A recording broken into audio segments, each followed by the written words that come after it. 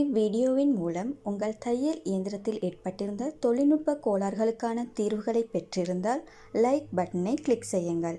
மேலதிக தொழில்நுட்ப கோளாறுகளுக்கான தீர்வு வீடியோக்களை பெற சப்ஸ்கிரைப் பட்டனை கிளிக் செய்து பெல் பட்டனை அழுத்துங்கள். வீடியோவின் மூலமாக சிங்கிள் தையல் இயந்திரம் நைன் செவன் ஃபோர் என்ற மாடலில் எவ்வாறு பொபினொன்றை வைன் செய்வது என்பதை அறிய முடியும். அதன் முதல் அதற்கு முதலாக சில பாகங்களை அறிய வேண்டும். Spool holder thread guide bobbin winder thread guide bobbin winder hand wheel மற்றும் ஸ்மால் வீல் இதன் பின்னராக நூல் பந்தினை ஸ்பூல் ஹோல்டரில் இட்டு த்ரெட் கைடில் இட்டு பொபின் வைண்டர் த்ரெட் கைடில் இடப்பட்டு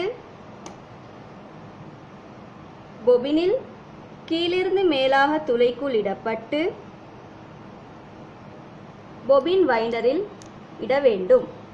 அதனை லாக் செய்து ஹேண்ட் வீலில் உள்ள ஸ்மால் வீலினை இலகுபடுத்திக் கொள்ள வேண்டும். பின்னராக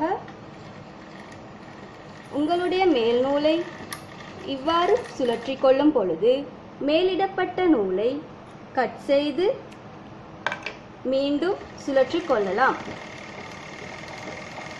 சுழற்றிய பின்னர் பொபின் வைண்டரை அன்லாக் செய்து ஹேண்ட் வீலில் உள்ள ஸ்மால் வீலை மீண்டும் டைட் செய்து கொள்ள வேண்டும்.